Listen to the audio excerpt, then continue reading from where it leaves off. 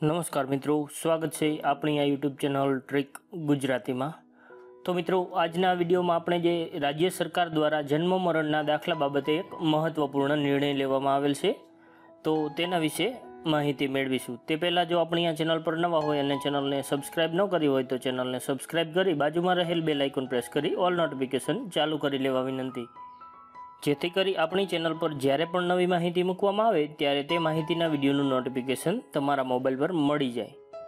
તો ચાલો શરૂ કરીએ આજનો આપણો આ ટોપિક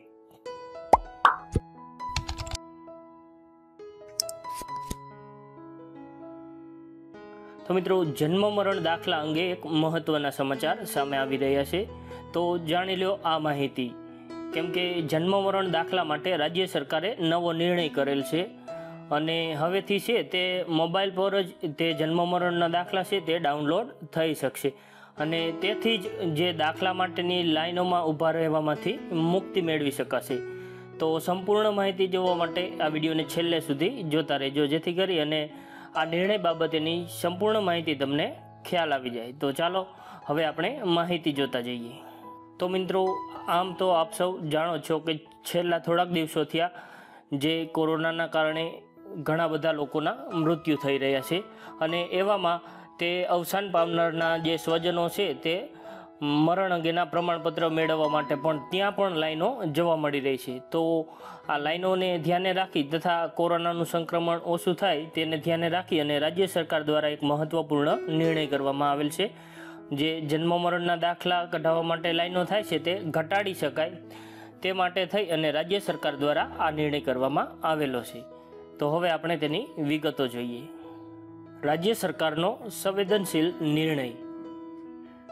તો તે અન્વયે આપણે જોતા જઈએ તો જન્મ અને મરણના દાખલા માટે હવે કોઈ સ્વજને લાઇનમાં ઊભા રહેવું નહીં પડે, કારણ કે તે અંગે રાજ્ય સરકાર દ્વારા એક મહત્ત્વપૂર્ણ નિર્ણય જાહેર કરવામાં આવેલ છે. જેથી જે જન્મ અને મરણના દાખલા માટે થઈને છે તે તેમના સ્વજનોએ લાઇનમાં ઊભા નહીં રહેવું પડે. તો હવે આપણે તે શું નિર્ણય છે તે જોતા જઈએ. તો મિત્રો, ટૂંક સમયમાં છે તે ઓનલાઈન સિસ્ટમ મારફતે જ જન્મ કે મરણ પ્રમાણપત્ર છે તે ડાઉનલોડ કરી શકાય છે. અને તે માટે થઈ અને આપના મોબાઈલ પર એક એસએમએસથી લિંક મોકલવામાં આવશે. અને આ અંગેની જે લિંક મોકલવામાં આવશે તે લિંક મારફતે જ તમે તમારા સ્વજનોનું જન્મ કે મરણનું પ્રમાણપત્ર ડાઉનલોડ કરી શકશો.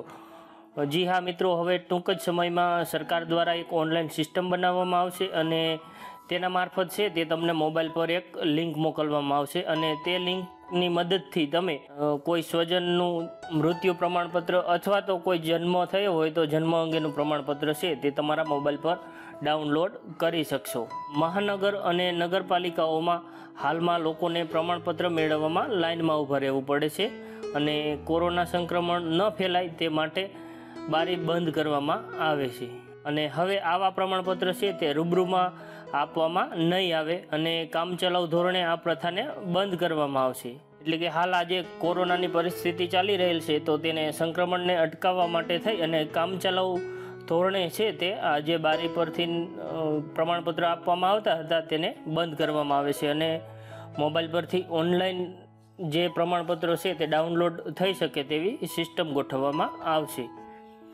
આ ઉપરાંત જે એક ચાર બે હજાર એકવીસથી તારીખ એકત્રીસ સાત બે હજાર એકવીસ દરમિયાન બનેલા કે બનનાર જન્મ કે મરણનો બનાવો છે તે કોવિડ નાઇન્ટીનની મહામારીના વિશિષ્ટ સંજોગોને કારણે જે નિયત એકવીસ દિવસમાં નોંધણી કરાવવાની હોય છે, તો તે નોંધણી કરાવી શકાયેલ ન હોય તેવા બાવીસ દિવસથી વધુ, પરંતુ ત્રણસો પાસઠ દિવસ સુધીના વિલંબિત જન્મ મરણના બનાવો માટે છે, તે નોંધણી માટે એફિડેવિટ કરવામાંથી મુક્તિ આપવામાં આવે છે. તો મિત્રો, આપ સૌ જાણો જ છો કે એકવીસ દિવસ પછી આપણે જન્મ કે મરણની નોંધણી કરાવવી હોય, તો આપણે એક એફિડેવિટ રજૂ કરવું પડે છે.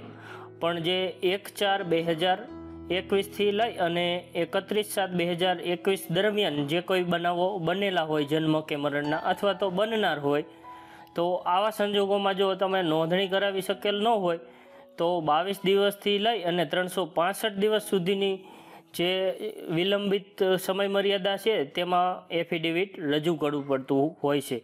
પણ તે એફિડેવિટ રજૂ કરવામાંથી સરકારશ્રી દ્વારા મુક્તિ આપવામાં આવેલી છે. તો આ અંગેની વિલંબિત નોંધણી ફી છે તે જતી કરવાનો નિર્ણય છે તે સંવેદનશીલ સરકારે કરેલ છે. અને તે અંગે જે આપણે વિલંબિત નોંધણી કરાવીએ છીએ ત્યારે આપણે એની લેટ ફી ભરવી પડતી હોય છે. તો આ લેટ ફી પણ સરકારે માફ કરેલી છે.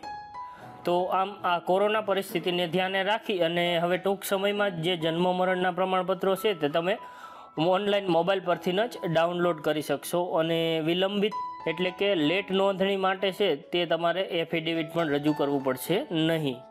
અને આપને જે લેટ ફી ભરવાની થતી હોય તેના, તેનામાંથી પણ માફી આપવામાં આવેલી છે. તો આ એક રાજ્ય સરકારનો બહુ સારો એવો નિર્ણય કહી શકાય. તો કોરોના સામેની લડતમાં સહકાર આપવા સૌ નાગરિકોને અપીલ કરેલ છે. માન્ય નાયબ મુખ્યમંત્રી શ્રી નીતિનભાઈ પટેલ દ્વારા અપીલ કરવામાં આવેલી છે. તો આશા રાખું કે સરકારશ્રીના આ નિર્ણય બાબતે આપને સંપૂર્ણ ખ્યાલ આવી ગયો હશે. તો જો તમને મારો આ વીડિયો પસંદ આવ્યો હોય તો લાઇક કરજો, મિત્રો સાથે શેર કરજો, જરૂર જણાય તો કોમેન્ટ કરજો. અને હા, આપણી આ ચેનલને સબસ્ક્રાઇબ કરવાનું ભૂલશો નહીં. ફરી મળીશું નવા વીડિયો સાથે. ત્યાં સુધી રજા લઉં. જય હિન્દ, વંદે માતરમ.